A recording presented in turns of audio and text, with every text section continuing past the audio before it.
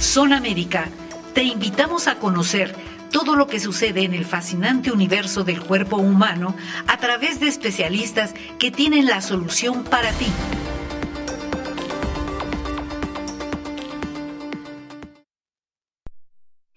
Buenas tardes todos, bienvenidos nuevamente al programa Universo de tu Cerebro, sección Zona Médica de promoestereo.com.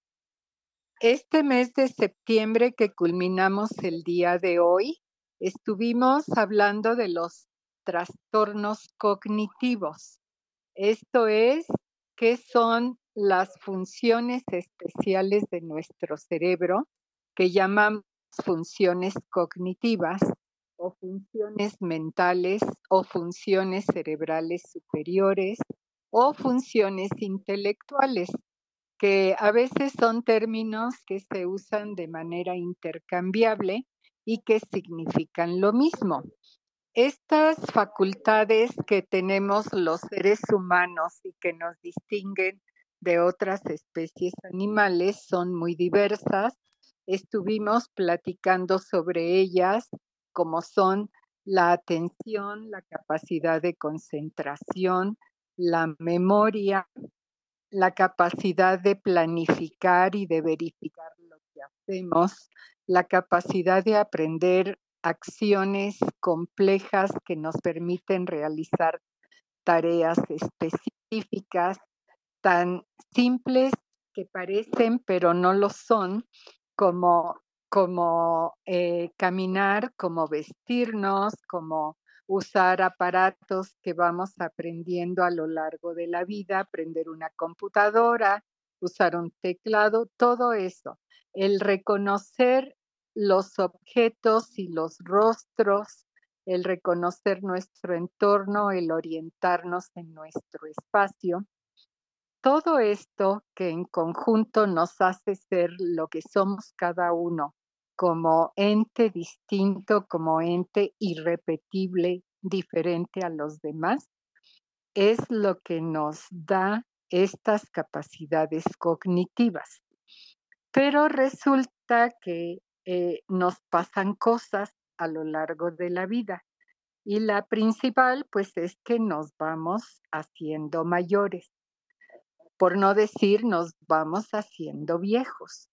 Y este envejecimiento va a traer consigo a lo mejor cambios en la salud general de la persona y desde luego en la salud cerebral que pudieran entorpecer el buen funcionamiento de estas capacidades cognitivas. También comentamos que los trastornos cognitivos, como hemos llamado a, esta, a este tema que estamos abordando este mes pudieran ocurrir a cualquier edad. Desde que el niño es pequeñito puede tener un daño cerebral que deja como secuela la falta de desarrollo de estas capacidades cognitivas, pero eso es otro asunto que platicamos con los neuropediatras especializados el mes anterior y entonces hablamos del retraso del desarrollo psicomotor. Aquí de lo que estamos hablando todo este mes es de que la persona alcanza un desarrollo máximo de estas capacidades y a partir de ese desarrollo máximo empiezan a declinar a veces un poquitito, porque no debe ser una declinación muy importante, por el envejecimiento, hablamos del envejecimiento exitoso, que es aquel en el que el sujeto conserva todas sus capacidades y lo único que podemos permitir, digamos, para no clasificar como un trastorno es que quizá las desarrolle con un poquito de menos velocidad, pero las conserva. Eh, luego abordamos que sí hay situaciones que van a afectar al cerebro y se van a manifestar por la pérdida de estas capacidades que va siendo muchas veces paulatina, tan sutil que ni el sujeto ni quienes le rodean pueden precisar en qué momento inició este deterioro, pero sí notan que va de mal en peor y llega el momento en que este deterioro llega al grado de que ocasiona dificultades para el desenvolvimiento social y laboral de la persona. Y entonces es cuando se pide ayuda. Cuando esto sucede, generalmente ya el tiempo ha transcurrido de una manera bastante importante y las pérdidas son ya bastante notorias. Cuando son muy sutiles, a lo mejor, como les decía, la gente no se da cuenta, lo toman quizá como algo natural, ah, es que está distraído, es que eh, no, no puso atención suficiente en el momento en que yo le dije tal cosa o le platiqué aquella otra. Y luego pues ya no supo lo que le dije y no se acordó. Y estamos primero justificando estas fallas hasta que de plano son tan evidentes que no se pueden justificar y no queda más que aceptar que están ocurriendo y pedir ayuda médica. Lamentablemente, cuando estos procesos están ocurriendo y la mayoría son de tipo degenerativo, no podemos revertirlos. No tenemos ningún medicamento que pueda eh, restaurar la función cerebral, la función de neuronas que ya se fueron muriendo, que se fueron perdiendo por este proceso de degeneración que tiene motivos diversos y que eh, pues va a conducir a que la persona termine con una pérdida pues completa de todas estas facultades y termine siendo un paciente de total custodia en el que hay que hacer todo por él, alimentarlo, asearlo, moverlo, eh, cambiarlo, etcétera, eh, en un camino que generalmente es un cierto via crucis, yo diría, porque van pasando situaciones a las que se enfrenta la familia que cuida a un enfermo con este tipo de problemas y que a veces causan muchas fricciones, causa muchas dificultades, porque este mismo deterioro puede hacer que la persona se muestre inconforme, se muestre incluso agresiva con las personas que lo están cuidando y no lo agradece. Esto es algo que es algo muy, muy difícil de aceptar y es un concepto que se me quedó muy claro escuchando hablar a una persona especialista en estos problemas, dice, porque eh, la familia contrata un cuidador o alguien se dedica a cuidar a la persona y la persona no lo toma en cuenta, no lo agradece, ni siquiera estar ya reconociendo a quienes los están cuidando, no reconocerlo de darle su crédito por los cuidados que le están prodigando, sino simplemente se le borró el rostro y no saben a quién, a quién los está cuidando, quién los está atendiendo y esto es algo que es muy doloroso. Bueno, ¿qué podemos hacer?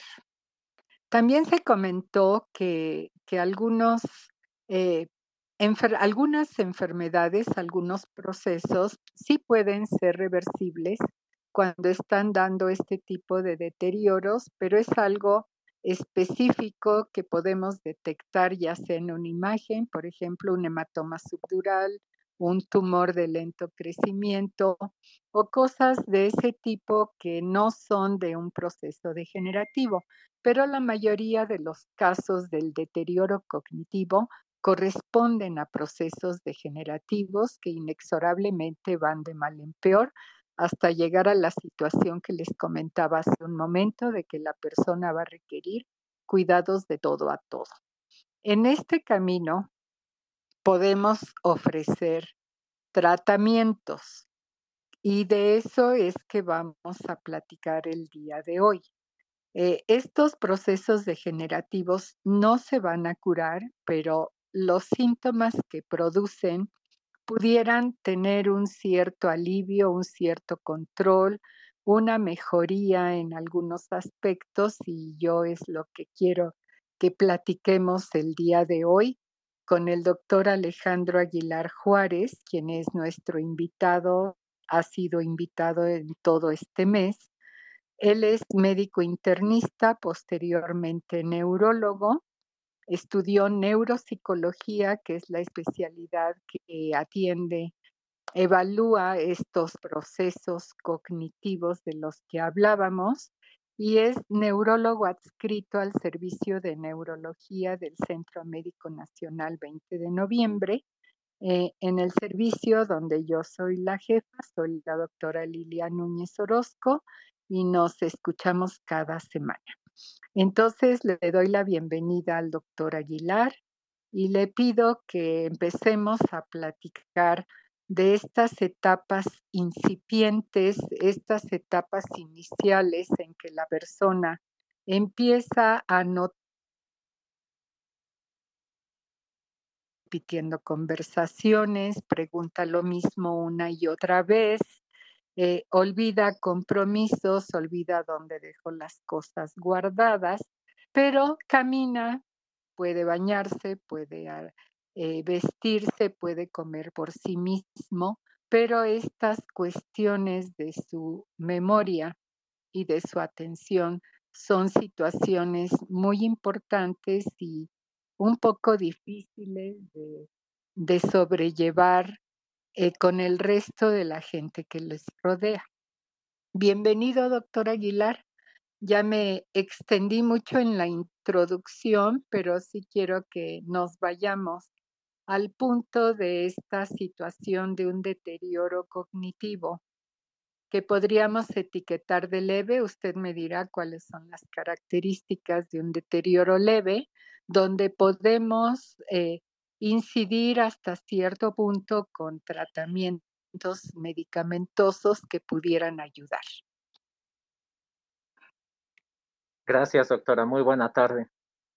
Gracias a todos por escucharnos yo quisiera preguntarle, doctora, de las posibilidades de tratamiento que tenemos, que desgraciadamente son muy poquitas, ¿hay alguna que no está indicada y que pudiera incluso estar contraindicada, que son los vasodilatadores? ¿Quisiera usted que hable primero de eso o lo dejamos para el final? No, hable primero de esto porque son tratamientos que tienen muchos años que se utilizan y que a pesar de que no tienen una evidencia de su utilidad o incluso hay evidencia de que pudieran perjudicar, muchos médicos los siguen usando porque se ha quedado un poquito en la mente de todos cuál es el mecanismo de que el deterioro cognitivo se produzca.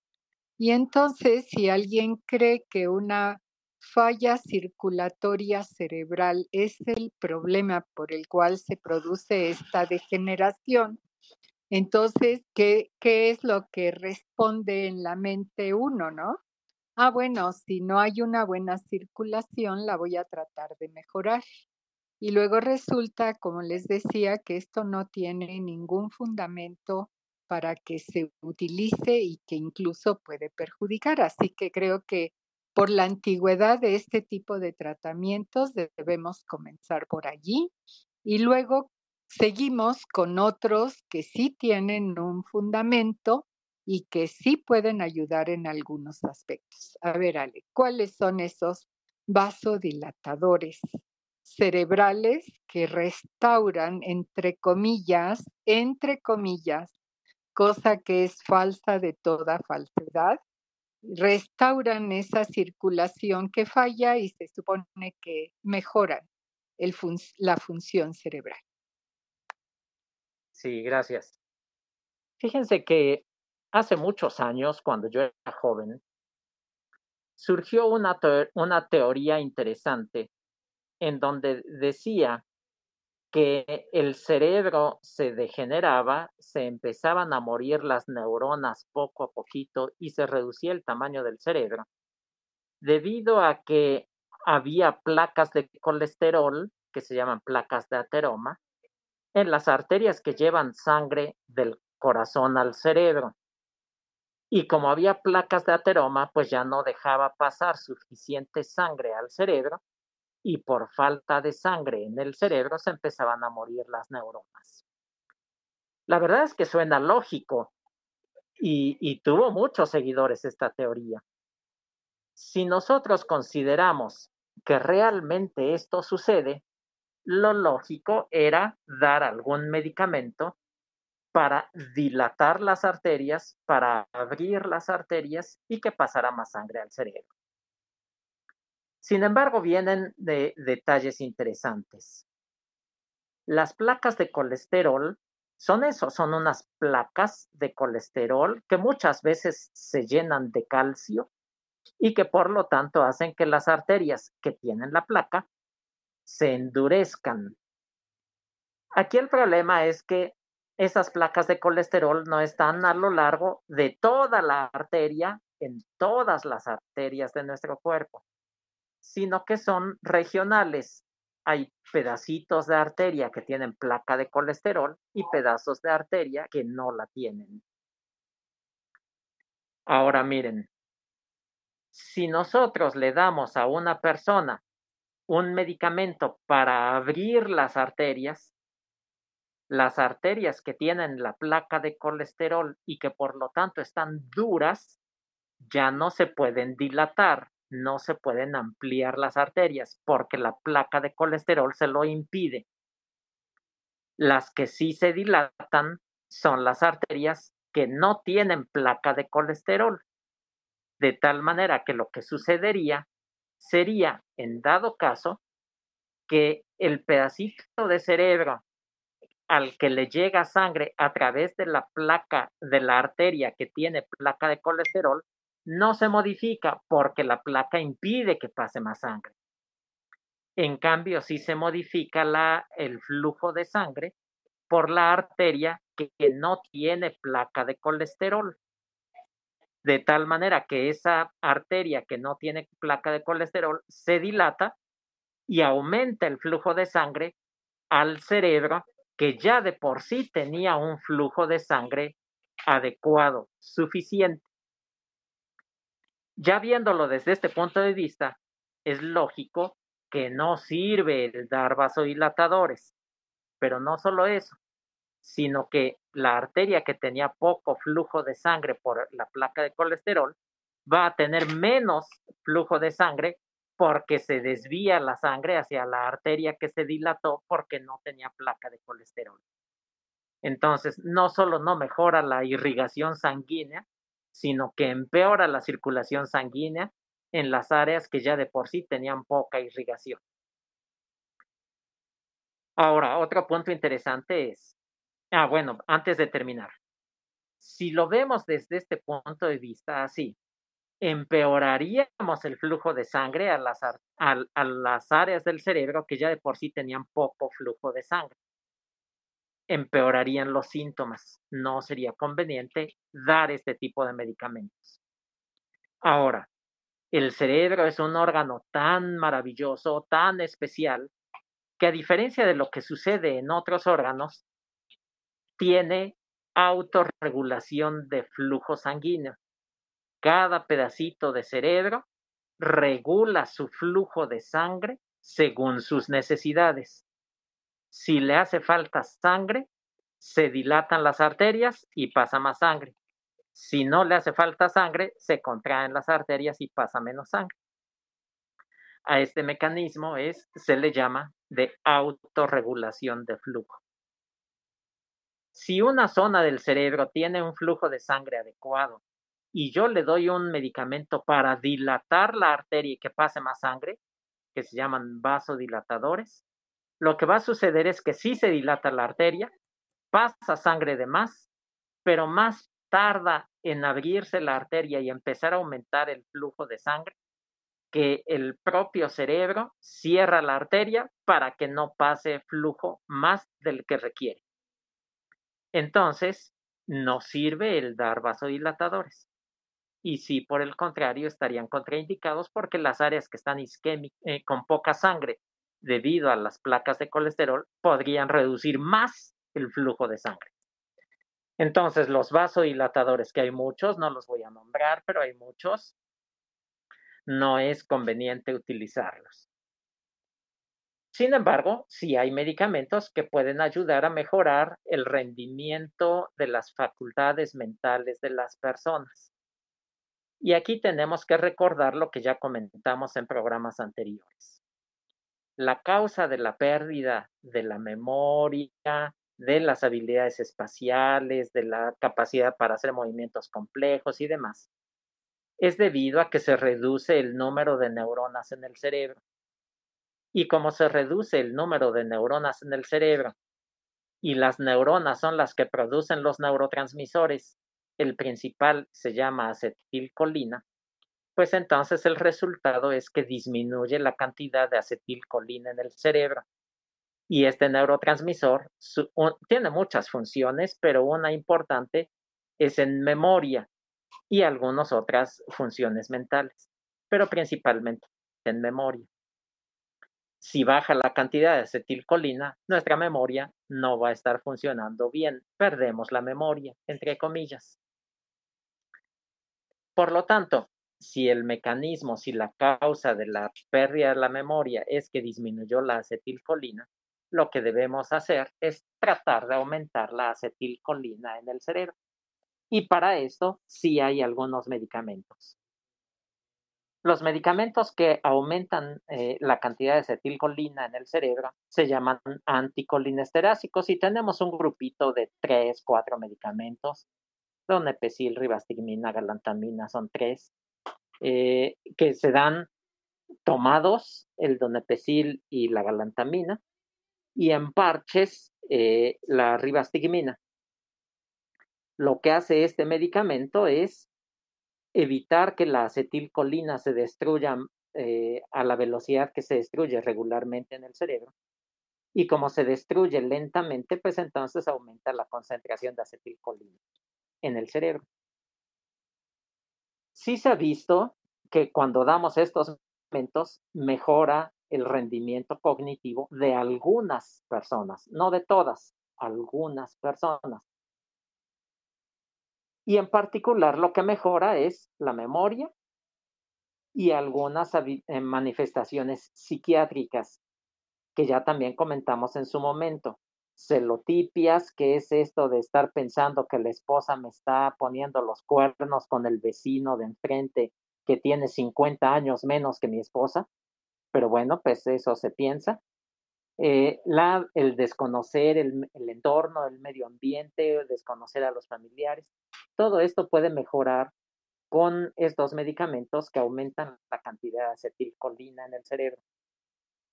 Aquí el problema es que la mejoría, ya había comentado, no en todos funcionan, no en todos mejora ese estado mental. Y en los que mejoran, la mejoría puede ser muy discreta. Hay una escala que ocupamos para medir el desempeño cognitivo, una escala muy breve, muy simple para ver el desempeño cognitivo de las personas que se llama Folstein que tiene una escala de 0 a 30. La máxima calificación en una persona completamente sana es de 30. Las personas que tienen demencia, deterioro neurocognitivo, suelen tener por debajo de 24 puntos de calificación. Cuando les damos estos medicamentos anticolinesterásicos, la mejoría puede ser de un punto o de dos puntos, cuando mucho, cuando mucho. O sea que en lugar de 24 tendrían 25 o 26 si les va muy bien la mejoría no es tanta, es poquita. Pero algunas personas eh, comentan, familiares, algunos de los familiares que atienden a estas personas enfermas, comentan, sí, doctor, mejoró un poquito su memoria, pero ahora puedo tener un diálogo con mi familiar bueno, no se acuerdan de lo que sucedió hoy en la mañana, pero pueden tener un diálogo, pueden hablar, pueden comunicarse, algo, aunque sea. ¿Vale la pena entonces dar el medicamento? Pues sí, vale la pena cuando menos intentarlo y ver si mejora y qué tanto mejora. Y ya de acuerdo con la familia, se determinará si se sigue dando el medicamento o si no. ¿Por qué decidir si se debe de seguir dando o no? Es interesante. Yo les comenté hace unos minutos que lo que hacen es aumentar la cantidad de acetilcolina en el cerebro, pero no aumenta el número de células en el cerebro. Ese sigue su curso. Iba a decir igual, pero no, sigue su curso. Siguen perdiéndose neuronas que producen acetilcolina. De tal manera que si mejoran las personas al tomar estos medicamentos, hay que mantener el tratamiento, hay que seguírselo dando. Pero no cura, de tal manera que las neuronas se siguen perdiendo. Y va a llegar el momento, quizá, en que a pesar de que le demos el medicamento, ya no notamos una mejoría significativa. En ese momento, podríamos suspender la medicina porque ya no está teniendo un efecto eh, adecuado, útil. ¿Cuánto tiempo va a persistir esta mejoría? No lo sabemos. Puede ser unos meses, puede ser unos años, dos años, tres años, cuatro años, no lo sabemos realmente. Es cuestión de ir viendo cómo va la evolución de la enfermedad de la persona con deterioro cognitivo. Y si ya está muy mal, entonces podemos disminuir la dosis de la medicina despacito y vemos si empeora su memoria y su comportamiento, lo volvemos a dar. Si no empeoró su memoria y su comportamiento, le bajo la dosis otro poquito y lo sigo observando. Y así sucesivamente. Si vemos que no se empeora, quiere decir que tampoco estaba sirviendo más y entonces ya no es necesario seguir dando el medicamento. En conclusión, ¿estos medicamentos curan la enfermedad? No, no curan la enfermedad. Ni siquiera la detienen. A lo mucho la retrasan un poco, pero eso es a lo mucho y va a llegar el momento en que ya no sirvan y se tienen que suspender. Son medicamentos sintomáticos solo para mejorar el rendimiento cognitivo de las personas. Hay otro medicamento que, que tiene un efecto un tanto parecido, más bien el resultado del efecto es un tanto parecido, mejorando la memoria y, su, y el comportamiento de las personas con estas enfermedades, pero que no es anticolinesterásico, sino que donde hace efecto es disminuyendo un neurotransmisor, fíjense, disminuyendo otro neurotransmisor eh, que se llama glutamato. Lo que hace este medicamento es inhibir al receptor de glutamato para que no entre tanto glutamato a la neurona que recibe este receptor y que se libere calcio adentro de la neurona.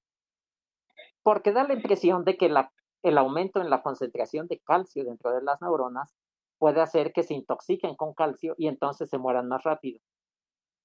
Empiece a fallar el mecanismo eh, metabólico de la neurona y se muera. Lo mismo que sucede en los motorcitos eléctricos de pilas, que cuando los compramos y lo empezamos a usar funcionan muy bonito, pero si lo estamos usando y usando y usando cada ratito con la pila, va a llegar el momento en que ya deja de funcionar, se quemó el motor. A este eh, mecanismo de degeneración de las neuronas le decían así, se queman las neuronas por sobreexcitación con glutamato. Lo que hace este medicamento nuevo, que se llama memantina, es evitar que la neurona se esté sobreestimulada por glutamato, entre poco calcio, se queme menos y se degenere menos. Da la impresión de que también funciona en memoria, mejora un poquito el rendimiento cognitivo, funciona, mejora un poquito el comportamiento psiquiátrico de las personas, pero su efecto principal sería reducir, intentar reducir la velocidad de progresión de las enfermedades degenerativas. Y por lo tanto, que en lugar de que la persona se pierda la memoria en cuatro años o cinco años, la pierda en 7, 8 o 10. No lo sabemos, tampoco lo podemos predecir. De tal manera que si damos la combinación de medicamento antiacetilcolina, antiacetilcolina donepecil, ribastigmina, galantamina, asociado a este medicamento que tiene un efecto, un mecanismo de acción diferente en el glutamato, pudieran tener mejor efecto que dar solo uno de ellos. Estos medicamentos están autorizados por la Secretaría de Salud a través de COFEPRIS para tratar personas que tienen eh, demencias, deterioros neurocognitivos moderados, ni muy leves ni muy severos, porque la memantina, igual que dijimos con, la, con los anticolinesterásicos, pues va a llegar el momento en que no haga efecto a pesar de que lo estemos dando, porque el número de neuronas que están funcionando en el cerebro es demasiado poco y ya no vamos a ver ningún resultado eh, de utilidad en estas personas. Muy bien. Bueno, como pueden ver, tenemos algunos recursos que pueden ayudar, que no debemos fincarles la expectativa de que va a regresar nuestro paciente a ser como era antes, pero sí va a ser más llevadera su convivencia y el, va a facilitar hasta cierto punto los cuidados. Y eso ya es una ganancia mientras funcionen, mientras se logre este tipo de resultado, adelante con ello, pero va a llegar el momento en que la enfermedad sobrepasa cualquier efecto de estos medicamentos y claramente lo dijo el doctor Aguilar, si ya no funcionan, no tiene ningún caso seguírselos administrando a los pacientes. Ahora, comentábamos que en el camino de la progresión de la enfermedad degenerativa que causa deterioro cognitivo, se van dando situaciones que van eh, dificultando el cuidado de la persona, como son trastornos del sueño, trastornos de la conducta, que necesitarán que se les dé algún tratamiento. Además de situaciones generales que sí es muy importante que las abordemos, porque uno dice, bueno, el sentido común eh, marca que hagamos esto y esto, pero como el sentido común es el menos común de los sentidos, siempre es mejor repasarlo y plantear situaciones hipotéticas que pudieran suceder con los pacientes para prevenir eh, daños importantes en ellos mismos o en los demás. Doctor Aguilar, ¿qué hacemos cuando la persona tiene trastornos del sueño? lo cual no es nada raro que suceda. Luego tenemos a las personas con su deterioro cognitivo muy despiertas en la noche, queriendo salir, queriendo hacer cosas, y es la hora en que la familia está durmiendo, y este desfase de horario ocasiona serios conflictos y un cansancio y un desgaste muy importante para la familia debemos ayudar. ¿Cómo lo hacemos? Sí, esto que es algo bien simple, bueno, yo lo digo bien simple, causa muchos problemas. Conforme pasa la edad, las horas de sueño que requerimos se van disminuyendo. Eso ya está eh, codificado, está impreso en nuestros genes. Cada uno tiene un cierto número de horas de sueño que no vamos a poder aumentar aunque queramos. Sin embargo, lo que no está eh, registrado en nuestros genes es a qué hora del día vamos a dormir ese número de horas. Si nosotros decidimos dormir en la mañana, de 10 de la mañana a 4 de la tarde, por ejemplo, el cerebro finalmente se va a acostumbrar y va a dormir de 10 de la mañana a 4 de la tarde. Y en la noche, pues en la noche ya no, porque ya dormimos nuestras 6 horas o nuestras 8 horas de sueño durante el día. De tal manera que el primer paso, lo primero que tenemos que hacer es acostumbrarnos a dormir en la noche. Horas eh, que yo les digo convencionales y con toda intención me esfuerzo por no decirles horas normales, sino horas convencionales. Un horario convencional es, digamos, 10 de la noche, dormirnos, 10 y media, 11, depende de la familia, depende de las actividades, pero por ahí así suele ser una hora muy común para irnos a la cama y dormir. Y despertarnos después de haber dormido las horas que requiramos. seis horas, siete horas, ocho, las que requiera cada uno, nuestro cerebro. Si nosotros, por eh, como nos cuesta mucho trabajo atender a la persona que tiene deterioro cognitivo, es muy cansado, hay que reconocerlo, es muy cansado.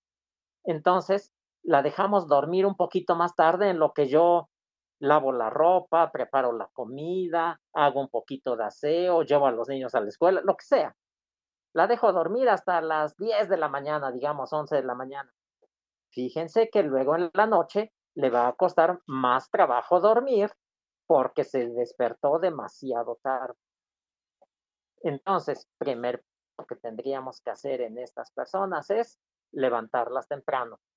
Bueno, tampoco a las 5 de la mañana, pero levantarlas temprano, a la hora que la familia empieza a tener sus actividades. 7 de la mañana, 8 de la mañana, y una vez que se despierte, preferentemente ya no dejarles dormir durante todo el resto del día, y menos aún en la tarde, porque si en la tarde, tardecito, noche, se duermen, va a costar mucho trabajo que concilien el sueño por la noche y esto va a causar problemas. Bueno, otro punto interesante. Nuestro sueño, eh, ya dije que es un número estable de, horas de sueño, pero nuestro sueño está regido por eh, el día, por la luz, más que el día, por la luz solar preferentemente. Si nosotros recibimos el estímulo luminoso de la luz del sol a través de nuestros ojos en el día, esto hace que durante todas las horas que dura el estímulo luminoso, se vaya produciendo una hormona que se llama melatonina. Y esta melatonina, que tiene muchos efectos, uno de ellos, el estimular la producción de, unas, de un colorante que se llama melanina en la piel, y por eso nos quemamos cuando nos exponemos al sol. Eh, si se estimula la producción de melatonina, aparte de eso, induce sueño cuando se va disminuyendo la concentración de melatonina en sangre. Y eso es en la tarde o noche cuando ya no hay tanta estimulación por la luz solar. De tal manera que otra actividad que podemos hacer para que la persona duerma mejor en la noche, aparte de levantarla temprano, es abrir las ventanas, abrir las cortinas, que entre mucho sol, que entre mucha luz, porque esto está estimulando a nuestro sistema nervioso para, producir melatonina. Y en la noche vamos a poder dormir mejor. Si pensamos nosotros que, ay, es que está enfermo y le molesta la luz, cierra la ventana, cierra las cortinas, que descanse, pobrecita, porque estuvo muy inquieta, no pudo dormir. Aguas porque en la noche no va a poder dormir. Lo que tenemos que hacer es justamente lo contrario. Levantarlo temprano, abrir las ventanas, abrir las cortinas, hacer ruido, que esté atenta, que nos oiga platicar y que platique y que no se duerma sino hasta que sea hora de dormir. Que ya dijimos que horas convencionales, las 10, las 11 de la noche pero esto depende de cada familia. Esto va a facilitar el que concilie el sueño durante la noche. Otra cosa importante, no se vale el hecho de subirla a la cama a las 7 de la mañana y ahí le llevo la cena y ahí que vea la televisión, porque miren, nosotros seres humanos estamos acondicionados para estar de pie o sentados. Sí nos acostamos, obviamente, pero estamos acondicionados para estar de pie o sentados si nos acostamos y no nos hemos dormido, entonces la cama cansa. De tal manera que conforme van pasando los minutos, me voy sintiendo cansado, ya me molestó el hoyo en donde habitual, el hoyo del colchón en donde habitualmente me acomodo, ya me molestó, ya se hicieron bola las cobijas, ya se hicieron bola las sábanas, ya se me destaparon los pies, X, X problemas por tanto tiempo de estar en la cama. Lo que tenemos que hacer es no irnos a la cama, sino hasta que nos vamos a dormir. La cama es exclusivamente para dormir. Algunos sexólogos dicen que no, que hay alguna otra cosa que se puede hacer ahí, pero desde el punto de vista neurológico, la cama es para dormir, no para ver televisión, no para estudiar, no para trabajar, sino para dormir. Entonces ya van varias cosas, levantarse temprano, exponerse a la luz solar, no irse a la cama sino hasta que es hora de dormirse y con eso muchas veces se mejora el, e, el ciclo de sueño, se mejora el sueño y podemos descansar todos. Y que conste que dije todos, no nada más la persona con deterioro cognitivo, sino los cuidadores también. Oiga, y si con todo y esto no mejora, ah, pues hay una presentación de melatonina que la venden en cápsulas y que podríamos utilizarla. Mi opinión personal es que no es muy útil, que no funciona muy bien, pero la literatura dice que sí, 3 miligramos de melatonina en las tardes, noches, y puede ayudar a conciliar el sueño de la persona, a descansar mejor. Medicamentos que son ampliamente conocidos como inductores de sueño, como medicamentos para dormir, y aquí yo les diría unos dos, tres nombres, diazepam, alprazolam, clonazepam y algunos otros que hay, son un buen número de ellos, que todos les decimos medicina para dormir, son muy malos para dormir. El inducir sueño es solamente un efecto indeseable de la medicina y dura muy poquito, muy poquito tiempo de dos semanas, tres semanas, un mes, y ese efecto desaparece. Persiste el efecto tranquilizante, pero el inductor de sueño desaparece.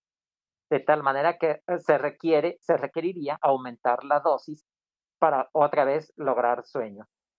Y son personas que se hacen dependientes de estos medicamentos y al final de cuentas no concilian dormir, no, no logran conciliar el sueño, perdón. Son malos medicamentos para inducir sueño.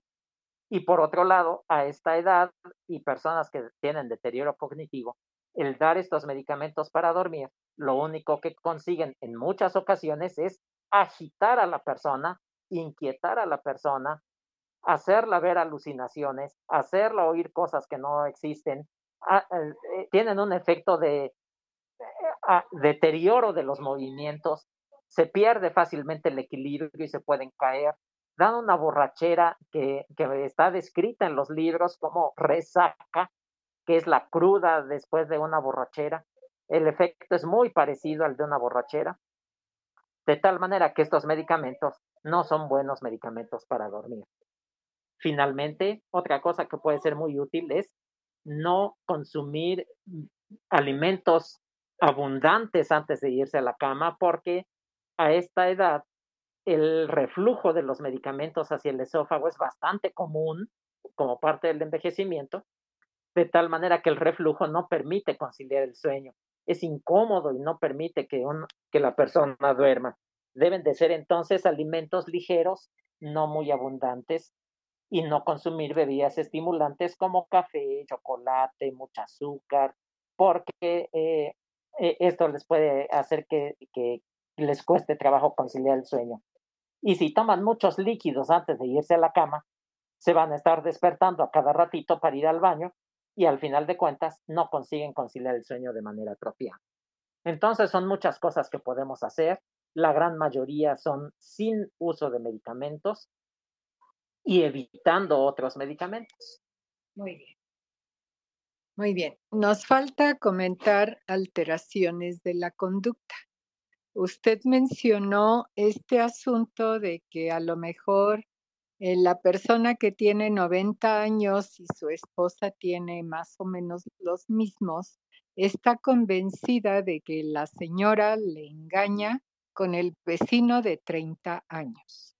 A todas luces, digo, no digo que no pueda suceder, ¿verdad? Pero se me hace muy poco probable y lo que uno piensa, bueno, esto es una idea que él tiene, es una idea que no es real, pero como la persona está convencida de que eso es así, va a actuar en consecuencia y se va a poner agresivo con su esposa porque le está haciendo reclamos por esta convicción que tiene de su infidelidad. Esto es un ejemplo, pero hay otros más. También pueden pensar que eh, el, el hijo que los cuida o la esposa que los cuida les está robando su dinero o sus cosas de valor. porque resulta que ellos mismos guardan cosas valiosas y dice, lo voy a guardar aquí para que no se me pierda y después no se acuerdan. Y como no lo encuentran, pues dicen, ya me lo robaron. Y también van a actuar en consecuencia, van a hacer reclamos, van a estar agresivos, devuélvanme mis cosas, etcétera. A veces también hay una inquietud que no tiene que ver con este tipo de ideas delirantes falsas, sino simplemente la persona se pone ansiosa, se pone inquieta, quiere salirse, anda caminando de allá para acá y todo esto pues contribuye a esta dificultad para sus cuidados. Ahí también podemos tener algunas acciones, aquí sí medicamentosas, porque el tratar de razonar con la persona de que no debes pensar eso, no como crees, esto no puede ser, esto no es así, eh, eso no va a conducir a nada porque es un trastorno del pensamiento que la persona está teniendo producto de su misma enfermedad. Entonces hay que dar algún medicamento y tenemos varias opciones también. Alejandro, ¿cuáles recomendaría? Sí, vamos a empezar por las celotipias, que es esto de pensar que mi esposa, mi esposo me está engañando con el vecino del tren. Y algunos otros trastornos de conducta. Es conveniente, dado que están inquietos, dado que están agitados, es conveniente dar medicamentos tranquilizantes. Sin embargo, comenté hace unos escasos minutos que los medicamentos tranquilizantes comunes, convencionales, esos no son de utilidad y más bien podrían causar problemas que ayudar. Son los el diazepam, clonazepam, alprazolam y algunos otros. Esos no son útiles, pero sí necesitamos dar tranquilizantes. Estos tranquilizantes caen dentro del grupo que en farmacología se, les llama tranquilizantes mayores, que más bien corresponden a los medicamentos antipsicóticos. Son medicamentos que los psiquiatras utilizan para enfermedades mentales graves, como la esquizofrenia, por ejemplo. Son tranquilizantes. Son tranquilizantes mayores. Sin embargo, hay que considerar que a la edad a la que la persona tiene deterioro neurocognitivo es una edad avanzada y que esta enfermedad se dio justamente porque hay pocas neuronas y como hay pocas neuronas hay pocos neurotransmisores y estos tranquilizantes mayores hacen su efecto en los neurotransmisores. Por lo tanto, con todo que los debemos de utilizar, hay que tener cuidado porque las dosis que requerimos, que se requieren para el tratamiento de estos síntomas, suelen ser muy, muy bajas. ¿Qué tan bajas? Miren, les voy a poner el ejemplo de un medicamento que es muy antiguo, cada vez se usa menos, pero eh, representa bastante bien eh, eh, cómo debemos utilizarlos. Se llama aloperidol y las pastillas que se venden, las más comunes, las que hay en la y en los hospitales, las más comunes son de 5 miligramos. Ahora ya hay de 30 miligramos, pero las más comunes son de 5. La dosis con la que debemos de iniciar para el tratamiento de estos trastornos conductuales de las personas con demencia es de 0.5 miligramos, la mitad de un miligramo, o sea que requeriría una décima parte de pastilla de aloperidol, cosa que es difícil dar, pero esto sirve para tener una idea de qué tan baja debe de ser la dosis que ayuda a controlar estos síntomas. Lo mismo sucede con los otros medicamentos tranquilizantes mayores. Las dosis que requerimos son bastante más bajas de las promedio para una persona 30, 40 años de edad. Pero sí se requiere eh, la intervención del psiquiatra que nos ayude a controlar estas manifestaciones con medicamentos tranquilizantes mayores a dosis muy bajitas. En etapas tempranas de las eh, enfermedades que causan demencia, puede haber otros síntomas psiquiátricos. Depresión, por ejemplo.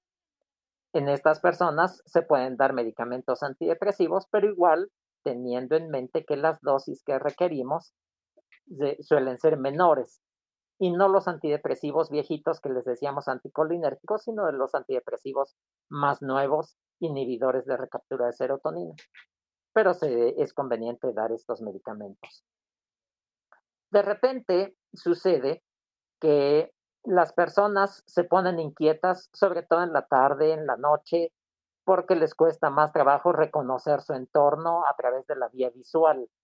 Ven su casa y no logran reconocerla. Y entonces por eso se ponen inquietos y empiezan a pedir que los lleven a su casa, que no los tengan secuestrados, que por qué están ahí, demás. Hay que hablar con ellos, si es cierto, acuérdense que se les olvidan las cosas, entonces ahorita me entendieron, pero a los dos minutos ya se les olvidó que me entendieron y me vuelven a decir lo mismo. Hay que estar conscientes de esto porque les voy a tener que repetir lo mismo cien mil veces en menos de una.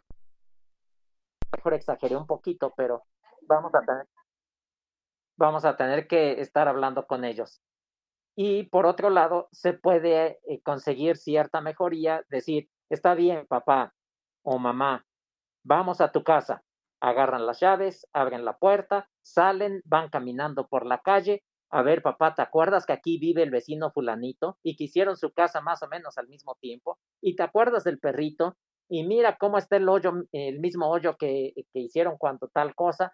Ya llegan a la esquina, a ver, papá, mira, ven, date la vuelta, vamos eh, para acá, a tu casa. Y siguen platicándole y describiéndole verbalmente el entorno. Cuando lleguen a su casa le van a decir, mira la reja, qué bonita te quedó la reja, ¿te acuerdas cuando la hiciste? De repente el pasar, el meterles la información por otra vía no visual puede ayudar a que se tranquilicen un poco, llegan a su casa, se sientan un rato, aunque puede ser media hora, una hora y otra vez empiezan con lo mismo, pero ayudan estas actitudes, estas conductas a mejorar su conducta.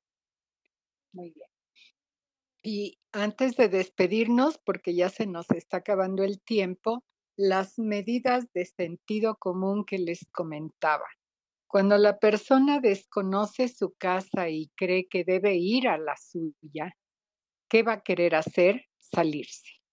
Por favor, no hay que dejarle las llaves a la mano, hay que cerrar la puerta con llave, aunque los cuidadores, el resto de la familia estén en la casa, pues se pueden distraer y en un momento dado su paciente se va a salir y si se sale y desconoce el entorno, va a caminar sin rumbo y pudiera ser que nunca jamás lo vuelvan a encontrar. Entonces, eh, el decir, no, no, él nunca se sale, no va a pasar eso, ¿no? Por favor, no crean que eso va a ser así, porque esto es totalmente impredecible.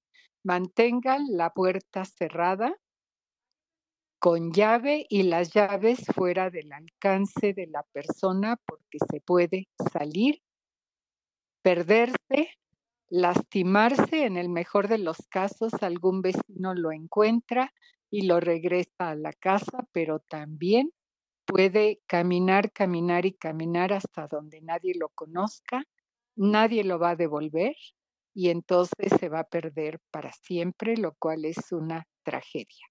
Conviene ponerles una plaquita como la que usan las, el personal del ejército, donde viene su nombre, sus datos y se la cuelgan del cuello adentro de la ropa o le ponen un brazalete que no se pueda quitar donde esté grabado esta, esta información, de modo que si alguien los, los encuentra, vean que traen allí algo que los, eh, los orienta y entonces pueden llamar y pueden recuperar a su paciente. Entonces, esto es algo muy, muy importante. Tampoco deben dejarle a mano instrumentos que pudieran ser armas potencialmente mortales. Si de repente se pone agresivo y cree que algo lo está dañando y ve un cuchillo, se puede ir encima y puede lastimar a alguien. Entonces hay que alejar, resguardar todas estas potenciales armas que pudieran ocasionar también una tragedia.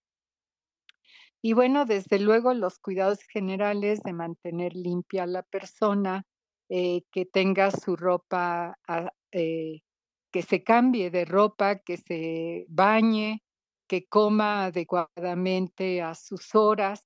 Todo eso son cosas que se tienen que mantener todo el tiempo en cualquiera de las etapas que vaya teniendo el paciente, que van a ir avanzando hasta que la alimentación tenga que ser a lo mejor por una sonda o algo así. Y eh, pegarse con su médico tratante para que les vaya aconsejando cómo continuar con los cuidados. No olvidarse que también puede enfermarse de algo intercurrente que requiera un tratamiento y todo en conjunto es parte de este tratamiento integral de la persona que tiene trastornos cognitivos.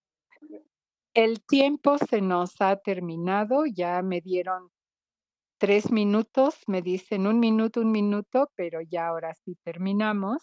Eh, agradeciéndoles mucho su atención, esperando que estas conversaciones que hemos tenido el doctor Aguilar y yo hayan sido de utilidad para quienes tienen un paciente con estos trastornos y que consulten a su médico cuando vayan surgiendo cosas que a lo mejor no comentamos y que sea necesario tratar también. Muchísimas gracias al doctor Aguilar por haberme acompañado durante estos programas del mes de septiembre. De nuevo a ustedes, gracias por su atención y nos vemos la próxima semana. Nos oímos con otro tema. Hasta luego.